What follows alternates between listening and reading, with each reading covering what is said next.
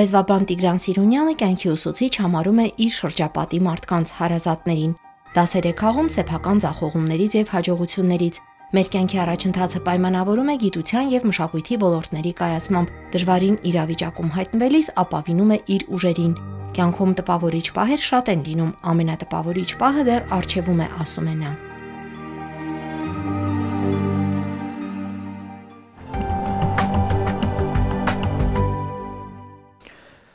Շողակաթ հերոստանգերության եթերում օր 6-րդն է եւ մեր տաղավարում այսօր հյուրընկալել ենք լեզվաբան Տիգրան Սիրունյանին։ Ողջույն ձեզ։ Բարև ձեզ։ Մենք մեր օրացույցում ունենք մի օր, փետրվար 21, երբ նշում ենք Մայրենի օրը։ Այսպես կարևորելով, արժևորելով լեզվի դերը ազգային կյանքում, պետականության կյանքում, պետականության ամրապնդման կյանքում, ազգային ինքնագիտակցության մեջ, Բայց ինչպես շատ երևույթներ, որ մեր կյանքում կան, երբ որտեղ այսպես կաղապարը կա, բայց բովանդակություն չկա, ուզում եմ ձեզ հարցնել որպես լեզվաբան։ Այդ օրը ինչ ձևով է արժևորվում բովանդակային իմաստով մեր կյանքում եւ արդեն քանի տարի է դա ունենք եւ ինչ ազդեցություն է թողնում լեզվի զարգացման, կարևոր կարևորության շեշտադրման, գիտակցության բարձրացման լեզվի կարևորության մեր հասարակական կյանքում, մեր գիտակցության մեջ։ Իհարկե կարևոր է, որ պետական մակարդակով փաստորեն նշանավորվում է այս օրը։ Սա նաև պետության վերաբերմունքն է լեզվին սա օրը հիշելու լեզվի խնդիրների մասին, արժևորելու հասկանալու թե ինչ նշանակություն ունի լեզուն մեր կյանքում, ինչպես պետք է վարվենք նրա հետ, խոսելու են մտահոգությունների մասին, որոնք ուղեկցում են ցավոք լեզվին, կարծում եմ այս հետահայացի առումով գնահատելու ճանապարհը եւ նաեւ ներկայդրությունը կարևոր օր է եւ ինչպես նշեցիք որոշ տոներ գաղապար են, բայց հուսով եմ, հավատում եմ, որ սա բովանդակությամբ կլծվի այս գաղափարը ինքս կարևորում եմ եւ ինձ համար այս տոնը եւս մեկ առիթ է պարզապես խորհելու լեզվի մասին մեր ազգային ինքնության եւ բացահայտման եւ զորացման առումով էական տարերից մեկը հենց լեզուն է եւ մասնավորաբար մայրենի լեզուն Մայրենիի եւ լեզվի կարեւորության մասին մենք պատմությունից բազմաթիվ օրինակներ կարող կարող ենք բերել։ Եվ կարող ենք բերել օրինակներ, որ լեզու եւ ազգ շատ հաճախ նույնացվել են։ Օրինակ 19-րդ դարավերջին Ռուսաստանում վիճակագրություն է անցկացվում եւ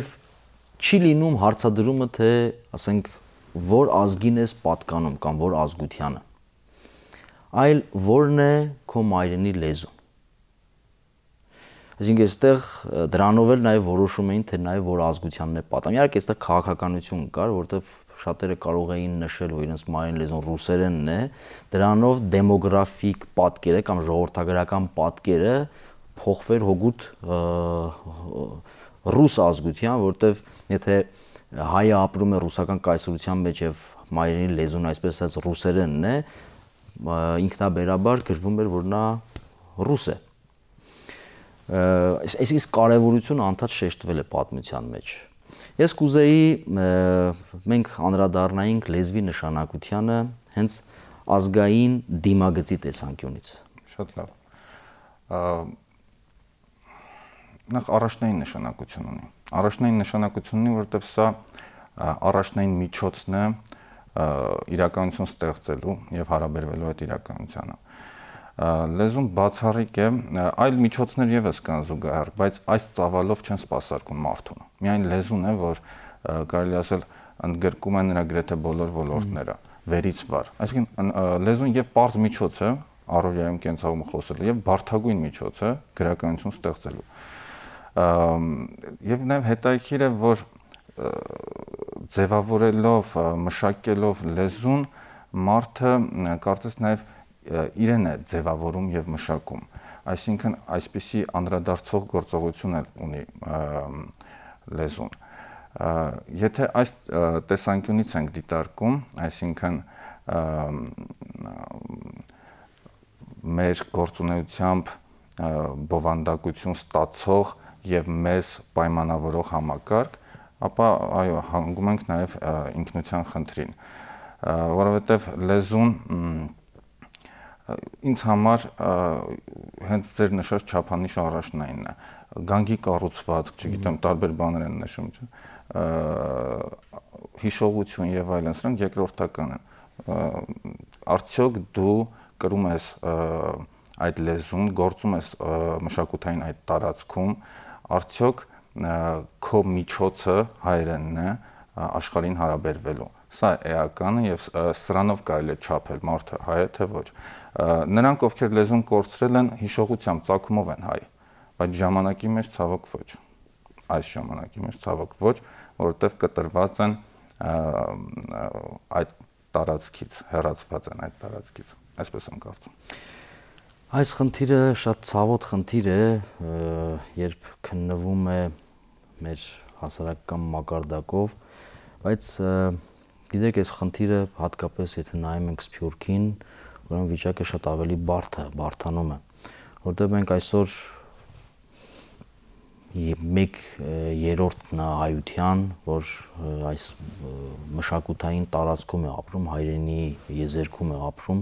այսինքն դժվար չի լեզուն պահպանելը, այդ լեզունով խոսելը, այստեղ խնդիրները արդեն լեզվի աղճատման հետ են կապված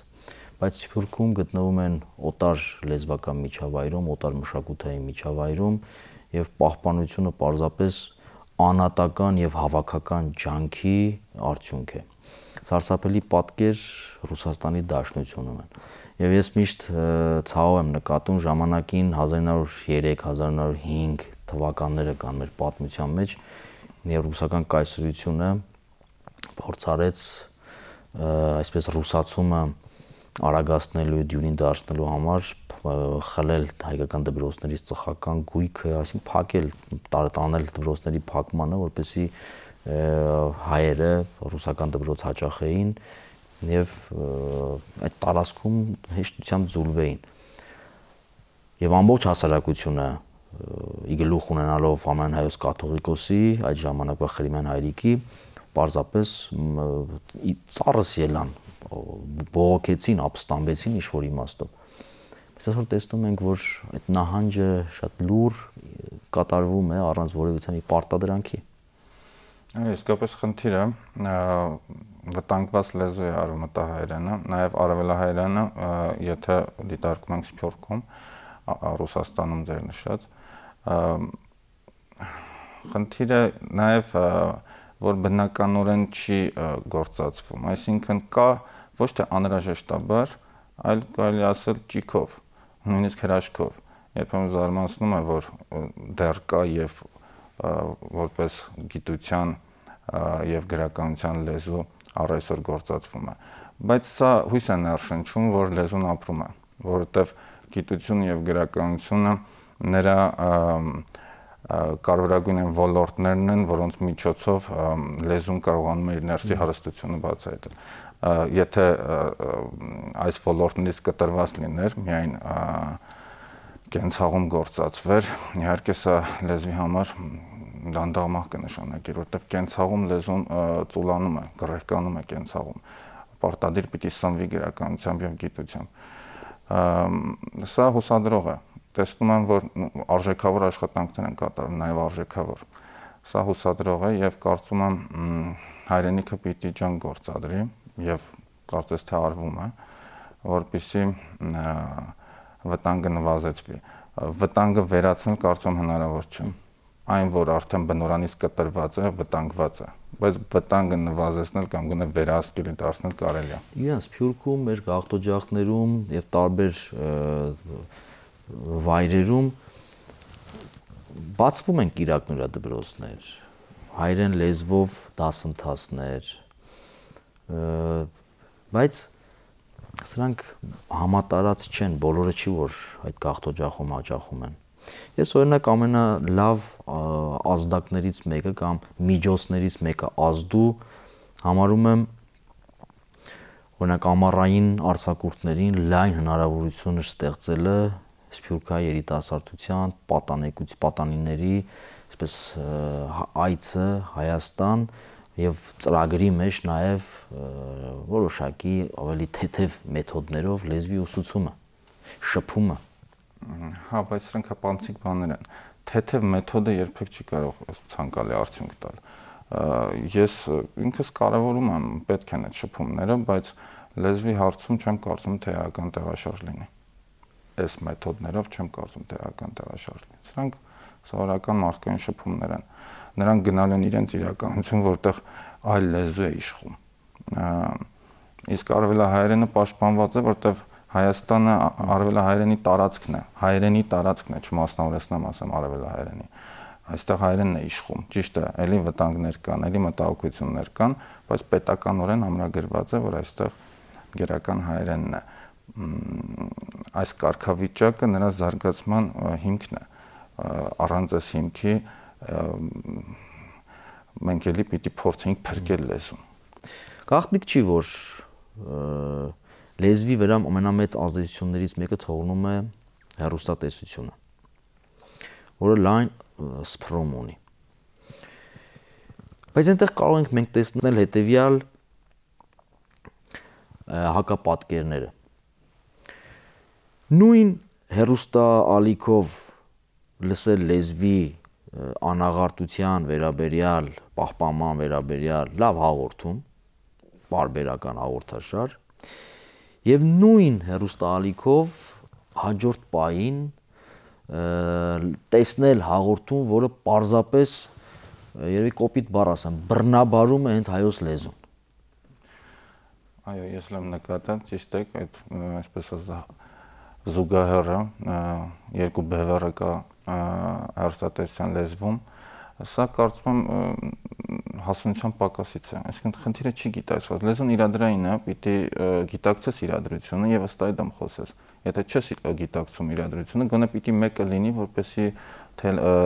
ուղի շտկի խոսքդ, այսինքն հետևի։ Երբ որ բարձի թողի է խոսքը, այսպեսի խնդիրներ կարող են լինել իհարկե եթերում, որը անթույլատրել է, որտեղ սա պիտի լինի գոնե ձգտի լինելու օրինակելի հայերեն խնդիրները այս տարածքում շատ են օտար ազդեցություններին երբեմն կուլ է գնում հայերենը իհարկե բանավոր խոսքը համապատրաստից խոսք է մեծ սպասելիքներ չպիտի ունենանք բանավոր խոսքից ես կարծում եմ մեր սպասելիքը պիտի լինի գրավոր խոսքից որը նյութականանում է որպես արժեք բանա բայց ամեն դեպքում բանավորը պիտի պաշտպանված լինի այն ակնհայտ սխալներից, որոնք օտար ցակում ունեն օրինակ անտանելի է դարձել ասան ռայախոսությունը Գերմանիա, Եվրոպա չես հասկանում ինչու իրեից հրաժարվում հասկանալի է որ օտար օրինակն է ազդել բայց ինքդ գիտակցես եւ կարողանաս ռճասել բարձ օրինակ եմ վերում սրանք բազմաթիվ են չեմ ուզում դրանց վրա կենտրոնանալ տարօրինակ է նաեւ որ երբեմն խնդիրներին զուգահեռ տեսնում ենք որ կարծես թե լծակը կա պետական որ խնդիրը լուծվի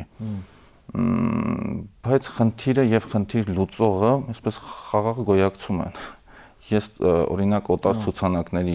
հարցում չեմ տեսնում տեսանելի էական տեղաշարժ չեմ տեսնում ես օրինակ ինքս ունեմ քրոջ զավակներ որոնք խոսում են արդեն 3 3-5 տարեկան են այդպես որոնք խոսում են հայերեն, բայց արդեն աղճատված որոշակի բառեր են օգտագործում որոնց պատճառը կարող է լինել ծնողների խոսքը խոսքը կարող է լինել պատճառը եւ կարող է լինել մանկապարտեզը մյուս ստեղծագործական մյուս դպրոցները որտեղ հաճախում են իրենք ես համաձայն եմ ձեր նշածի. Լեզուն նաև ճիք է պահանջում ճիք է պահանջում որպիսի բացահայտի իր ներքին ուժը այստեղ իհարկե մեծ դեր ունի գրականությունը այսինքն որպեսի լեզուն հարստանա, զարգանա, նա պիտի կարդալի գրականություն ծույլ չլինել, ծույլ չլինել եւ կարողանալ կարդալ, հասու լինել եւ գնահատել։ Եթե ինչ որ բան տրված է, ունես միշտ դժվար է գնահատելը։ Սա տրված է, սա մեր ձեռքբերումն է, մշակութային մեր մեծագույն ձեռքբերումն է եւ երբեմն ոմանց բեռ է թվում։ Այ եթե չլիներ կհասկանային, գուցե կարոտով հիշեին, բայց կա պետք է պահել, պահել եւ զարգացնել։ Ամենակարևորը զարգացնել։ Երկրորդ օջախը որտեղ մարդը ստանում է իր լեզվական կրթությունը դպրոցն է բայց ես նորից երկու հակառակ իրականություններ եմ ուզում հիշել իհարկե կուզեմ որ նաև խոսենք թե դպրոցում ինչպես է լեզվի դասավանդման մակարդակը եւ միտումները նաև եւ նաև այս երևույթին տեսեք դպրոցում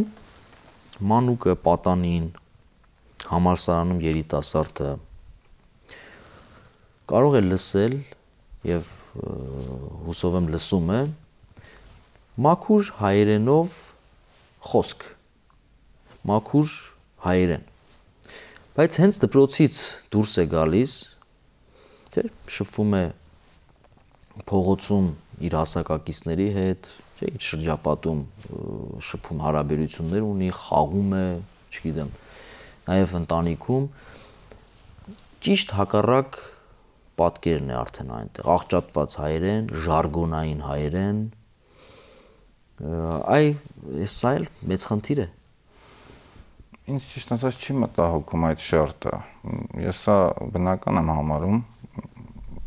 խոսքը ըստ իրադրության պիտի դրսևորվի։ Իսկ շատ կտրված չի դպրոցի մաքուր հայերենը եւ փողոցի այլանդակ խոսքը հայերեն։ Գուցե այո, կտրված է, բայց օբյեկտիվ պատճառ էլ կա։ Դպրոցում էլ մոտեցումը միշտ չի որ ճիշտ է։ Չգիտես ինչի հայերենը որոշ ուսուցիչներ սիրո օբյեկտ են ընկալում։ Այս պաթոսը, ավելորդ պաթոսը, չգիտես ինչու մեր հայերենի եւ գրականության ուսուցիչները մեր պոետներին ներկայացնում են ավելորդ այսպես հուզական երանգով ըստ էության պիտի ներկայացվի խոսքը լեզուն ըստ էության պիտի ներկայացվի ինձ համար շատ մտահոգիչ եւ անթույլատրելի օրինակ երբ որ տեսնում եմ որ հանկարծ որևէ տնորեն կուսակցական է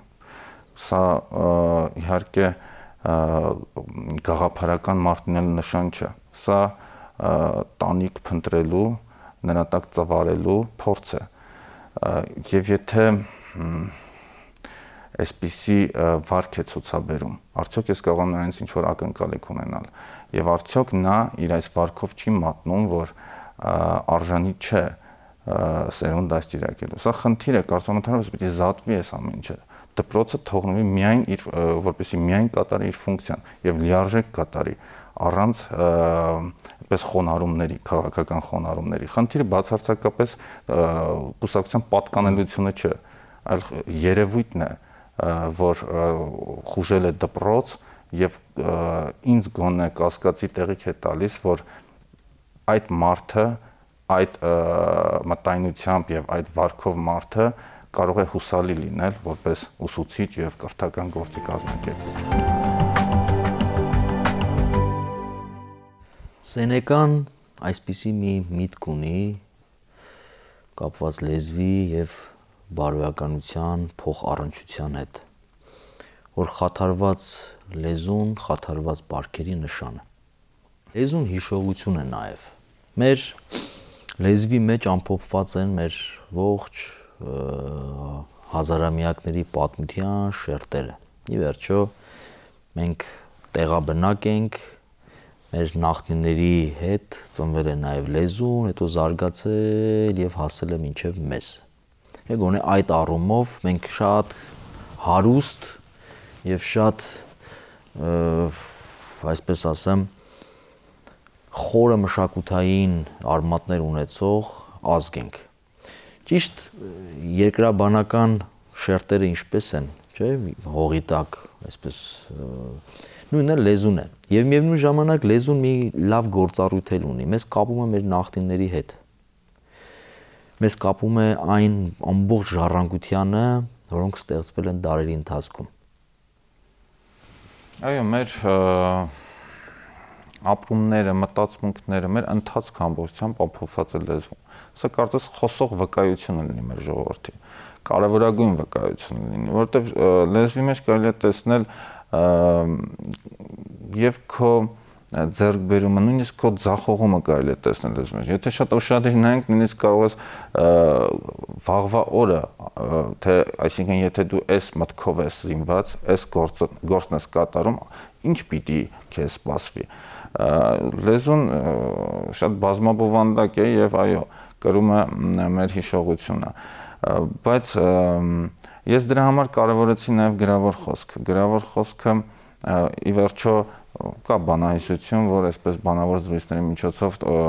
պատմություններ են փոխանցվում սերնդից սերունդ, բայց կարևորագույնը գրավորն է, որովհետև սա բուն լեզվական խոսք է։ Այստեղ լեզուն կարծես ինքն իրեն պատկանի։ Այսինքն զուգահեռ միջոցներ, ոչ լեզվական միջոցներ, ինչպես օրինակ ժեստը կամ իրադրությունը, այստեղ տեղ չունեն անկախությունը այս առումով գնահատում դրական շահեկան եղավ լեզվի համար, որովհետև տեսնում եմ գրականության մեջ անկաշկանդ միտք սա միջոց է որպիսի բացվի լեզվի սահմանը ընդհանրապես ես ճիշտ ասած հայոյանք եմ տեսնում ավելի շատ լծված գրականության ես խոսում արժեքավոր գործերի մասին այն ինչ որ նստվածք է թողում լեզվի մեջ ինչ որ դուք նշում եք այդ խոտանը դա ի վերջո դառնում է ոչ լեզվական ես այդպես եմ կարծում։ Դրա քարոշությունը շատ բարձր մակարդակի վրա է դրված։ Դա եթե արժեք է, ապա լեզուն կառնի իր մեջ, եթե արժեք չէ, ապա լրության է մատնվելու։ Դա պետք է թողնել ժամանակին։ Նայում ենք թե ինչ թեմաներ են արծարծվում ժամանակակից գրականության մեջ։ Կարծեք մարդուն ուզում են վերադարձնել նախնադար իր կենթանական բնազդներին համաձայն եմ նույնիսկ նաև նկատում եմ եսակենտրոն գրականություն այսինքն երբեմն կարծես եսի հիշատակարան լինի շատ ինտիմ տարածք է եթե այդքան ինտիմ տարածք է ինչու ես առաջարկում որ ես ընթերցեմ եթե չկա երկխոսություն չէ որ կարծում եմ գրական երկը լրության մեջ է ստեղծվել բայց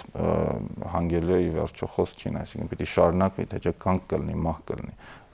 կդադարի այդ գործը այն լայն հայացքը ընդհանրացումը, որ ես որպես ընթերցող կակնկալեի, չեմ տեսնում, բայց դա չի նշանակում, չեմ ուզում ընդհանրացնել խոսքս, հա, կան արժեքավոր գործեր իսկապես, արվում են լավ գործեր։ Եվ չգիտեմ, պատկերը ինձ մոտ մի քիչ մտակույց այն առումով, որ օրինակ այսպեսի մի պատկեր եկավ աչքիս առջև։ Հրանտ Մաթեվոսյանից հետո մեր այս կողմ գրականությունը կամ այն ինչ որ ավելի շատ է կարդացվում ինձ հիշեցնում է Ամերիկայի Միացյալ կամ Ամերիկյան մայրցամաքի եւ Խաղաղ օվկիանոսի այդ պատկերը, այսպես օվկիանոսի եզրով լեռներ են բարձրացած, չէ, կորդի լեռներ, հետո իջնում են ներքև անդերը եւ միանգամից օվկիանոսի այդ ափը իջվածք է, որտեղ այսպես բարձրացել եւ իջել են։ Ինձ այս պատկերն է տալիս Հրանտ Մաթեվոսյանից հետո մեր գրականությունը։ Պատվեսից հետո բառին համաձայն չեմ, որովհետև նա արդեն կա եւ այսպես կշարունակվի։ Հա, ինչ որ ռելիեֆը երևի թե համաչափ չէ, բայց սա նորմալ է։ Ես տեսնում շնորհալի մարդիկ եւ ինքս ակնկալիք ունեմ, որ չեմ ուզում համեմատել, գրականության մեջ կարծում համացությունը սխալ է, ակնկալիք ունեմ, որ ստեղծվելու են արժեքավոր գործեր, նաև կան արդեն գործեր, որոնք կարելի է այդպես համարել։ Սա նաև լավատեսություն է ներշնչում, որովհետև լեզուն ի վերջո սննդառնում գրականությունից եւ գիտությունից եւ գրական գիտական գործերը լեզվի հոդերն են, որոնք ճկուն բացում են լեզուն շատ կարևոր է թե ինչ մտքեր են մտածվում այդ լեզվով դրանք պիտի լինեն արժեքավոր մտքեր, ընդ որում ոչ միայն ինքնուրույն ստեղծագործությամբ, այլ նաև այն մտքերը, որոնք ձևավորել են այլ մշակույթներ կամ նպաստել են այլ մշակույթների ձևավորմանը։ Շատ կարևոր է, որ լեզուն ներառի իր մեջ ոչ միայն մտքեր, այլև այն իրադարձությունները, որոնք որոնք մարդկության ուղին են որոշել, այսինքն պատմական իրադարձությունները։ Եվ իմ կարծիքով, իմ համոզմամբ լեզվի արժեքը արժեքի մասին դատողություն անելիս պետք է նկատի առնել նրա ընդգրկումը ինչ մտքեր, ինչ իրադարձություններ են նստված թողել այդ լեզվում եւ լեզվի զարգացումը ուղղակիորեն հանգում է դրան այսինքն անդադար փորձել բացել լեզվի սահմանը անդադար մտքեր ներմուծել լեզու եւ իրադարձություններով լցնել, լցնել լեզուն եւ հնարավորություն տալ, որպեսզի լեզուն իր ներսի հրաշքը բացահայտի։ Եթե լեզուն խեղճ է, սա լեզվի խնդիրը չէ, լեզուն կրողի խնդիրն է լեզուն կրողի մտքի խնդիրն է։ Մենա միտքն է խեղճ, թե չէ լեզուն անհատակ մի բան է։ Ես այսպես համաձայն լինելով հակադրվեմ։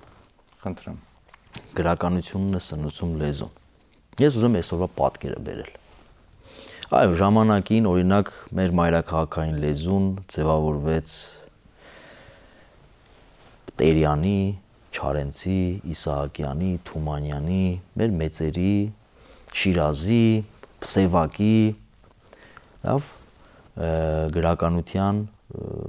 միջոցով այն ինչ որ իրենք արեցին գրականության միջոցով այն բարերար ազդեցությունը լեզվի թե գրավոր եւ նաեւ բանավոր խոսքի վրա մեծագույն ազդեցություն ունեցավ մեր լեզվի զարգացման գործում բանավոր հատկապես հերոստա թատրոնը մամուլը խոսքս այն ժամանակվա մասին է այսօր տիրապետող է ազդեցությունը այն հաղորդումների, որոնք ունեն լայն դիտողականություն։ Ես համաձայն եմ, համաձայն եմ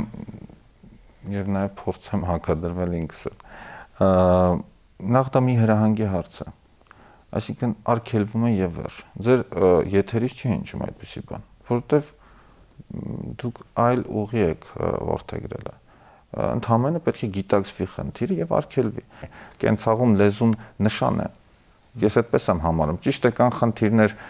ոմանք լավ են խոսում, ոմանց հայրենը այսպես գրահիկ է նույնիսկ, բայց սա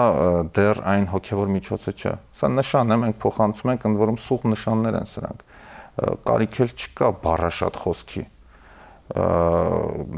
գրականությունն է, որ եւ նաեւ գիտությունը, որ պիտի մեր լեզվի իրական հարգ ու նշանակությունը բացահայտի սա նկատի ունենալով ասում եմ, որ առանձնապես մտահոգված չեմ այդ ներքևի ոլորտում, ոլորտով, թե ինչ է կատարվում այնտեղ, ինչպես են խոսում այնտեղ։ Ինձ առավելապես մտահոգում է, թե ինչ է կատարվում են բարձր ոլորտներում, ինչ է կատարվում գիտության մեջ, ինչպես են մտածում գիտության մեջ եւ ինչ գործեր են գրվում եւ ինչ մտքեր են մտածվում հայերենով։ Սա ինձ սա իմ իմ կարծիքով կարևորագույնն է լեզվի պարագայում։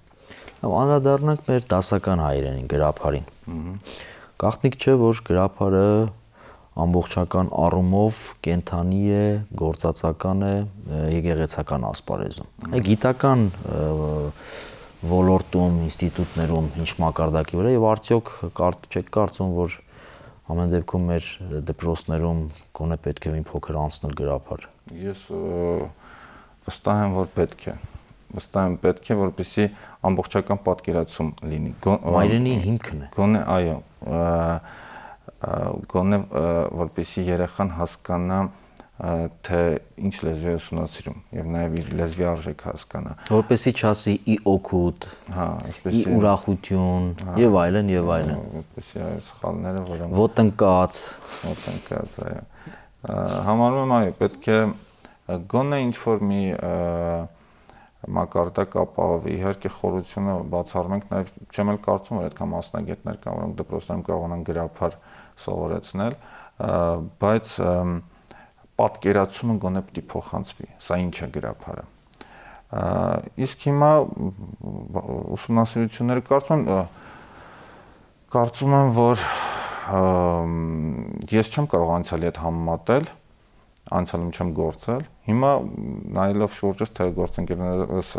ինչ աշխատանքներ են կատարում, համարում եմ, որ ուսումնասիրվում է խորությամբ եւ դեռ պիտի ուսումնասիրվի։ Սա անհատակ նյութ է, չի կարող սպառվել։ Չեմ հավատում, թե սպառվի։ Գրափարը այն լեզուն է, որ կարողացել է թարգմանել ամենատարբեր մարդկային կյանքի ոլորտները փիլիսոփայություն, երկրաչափություն, պատմություն, աստվածաբանություն, հոգեբանություն, միայն ոսկեդարի թարգմանական այդ ամբողջ գործերը երբ մենք նայում ենք, տեսնում ենք թե ինչպես է գրափարը։ Իհարկե ազդվել է, հետո հունաբան դպրոց կար եւ այլն լատինաբանն է։ Այո, իհարկե ազդեցություններ եղել են, նաև նորմալ է մշակութային ալիքը բերում է իր հետ ազդեցություններ, իսկ նրանք իշխող մշակույթներ էին, իշխող մշակույթների լեզուներ էին եւ ազդեցությունները ինչ որտեղ նաև օբյեկտիվ են։ Նաև հիմա էլ չէ, ռուսերենից շատ ազդեցություններ կան, արդեն անգլերենից ազդեցություններ կան թարգմանական գրականություն եւս խիստ կարեւոր է լեզվի համար։ Խիստ կարեւոր է, որովհետեւ օրինակ Աստվածաշնչի թարգմանությունը բացառիկ նյութով է օժտել լեզուն եւ կենսունակությամբ է օժտել լեզուն, որովհետեւ սա ոչ միայն ճշմարիտ խոսք է, այլև ճշգրիտ ձևակերպված խոսք է։ Եվ ընկալում նաեւ։ Եվ վերջում մի բառը կարող ես տարբեր ձևով թարգմանել։ Այո։ Ես Սահակ Մեսրոպյան դպրոցը ընկալում եմ ես տվել։ Ընկալումը տվեց։ Թարգմանության միջոցով, ի վերջո ամեն թարգմանություն մեկնություն է։ Մեկնություն է, այո։ Եվ հետաքրքիր է տեսեք 5-րդ դարից արդեն մեր եկեղեցու հայրերը այս գործին լծվեցին, այսինքն լեզուն հարստացնելու եւ հայացնելու այն օտար մտքերը, ավելի ճիշտ օտար լեզվով հնչած արտասանված մտքերը հայացնելու եւ սրան սրանից շատ շահես լեզուն եւ հիմա որ ունի այս արժեքը նաեւ մեծապես դրա շնորհիվ է, որտեղ միջնադարյան տեքստերի միջով անցած թրծված եւ հարստացած լեզու է։ Սա է մեր լեզվի արժեքը։ Եթե չլներ, սրա մասին եմ խոսում, եթե չլներ այդ գերականությունը, լեզուն աղքատիկ մի բան կներ։ Նույնիսկ անպետք։ Եվ ինձ զարմացնում է հաճելիորեն նաեւ ինչ լայնախոհություն են ունեցել, ոչ միայն թարգմանել, ի վերջո եկեղեցու հայրերը պետք է թարգմանեին եկեղեցական ոլորտի գործեր, քարոշչությունը դյուրացնելու, հիմք ստեղծելու նոր գործերի համար, բայց թարգմանել նաև գիտության գործեր, շատ ամբողջական գիտությունը զարգացնելու համար իեջուկս այն մտածողության, որ եկեղեցին խանգարում է գիտության զարգացմանը վառ օրինակ է։ Չէ, մեր ձեռբերումները, անցյալի ձեռբերումները եկեղեցու շնորհիվ է եղել, որտեվ ուսյալ մարդիկ եկեղեցականներ էին նրանք պիտի ստեղծեին գրականություն եւ նրանք ստեղծեցին։ Հիմա հիմա դարձել է աշխարհի գործ, իհարկե չի նշանակում որ եկեղեցական չի կարող զբաղվել, բայց առավելապես բևեռը փոխվել է դեպի աշխարհիկ մարդը։ Ես այո, նաեւ նկատում եմ, որ ճիշտ է, այստեղ կան նաեւ այլ հարցեր, հա, կաթոլիկ հայեր եւ այլն եւ այլն բայց ինչպիսի մեծ գործեր են հանձնարարել նաեւ օրինակ ակվինացի թարգմանից բաներ որոնք առայսօր չեն արված ակվինացի թարգման եւ ընդ որում գործի բերումով կարողանում եմ նաեւ ուսումնասիրում եմ նաեւ այդ երկերը համեմատելով զարմանում եմ թե ինչ որակի իմացություն է լեզվի ճշգրտությունը, ինչպես են կարողացել օրինակ լատիներենը փոխանցել գրափարի։ Ճիշտ է ազդեցություններ կան, շարասական ազդեցություններ կան, օտարաբանություններ կան, բայց իմացությունը, երբ որ ծավալած ինչ որ վանքում եւ լատիներեն թե ինչպես են կարողացել սարտել եւ կարողանալ այդ բարթագույն աշխատանքը հունարեն, եբրայեցերեն, ասորերեն նաև աշխատանքի որակը, սա է ուզում շեշտել ընդգծել, բացառիկ գործ է արված, չգիտեմ մենք արդյոք արժանի հետնորդ ենք նրանց, այո մեծ նվիրում մեծ նվիրումով մարդիկ են մեծ ես պատկերացնում եմ որ դա անդադար անդադար անդուլ աշխատանք է համեն դեպքում սա եմ ամրացրել զորացրել մեր լեզուն եւ եթե մեր լեզուն իսկ անկասկած ունի արժեք ապա այս մարդկանց, այս գործիչների արածի շնորհիվ է։ Շնորհակալություն մեր հրավերն ընդունելու, մեզ հյուրընկալվելու համար։ Հուսանք, որ մայրենիի օրը մեր գիտակցության մեջ եւ անատական եւ հավաքական որպես ազգ, որպես հասարակություն անդրադառնալու առիթ կլինի եւ ինչ որ իմաստով նաեւ բարձրացնելու մեր ինքնագիտակցությունը լեզվի կարեւորության առումով։ Հուսանք Շողակաթ հրուստանկերության եթերում օր 6-րդն էր եւ մեր զրուցակիցն էր լեզվաբան Տիգրան Սիրունյանը։ Մնացեք սիրո եւ խաղաղության մեջ։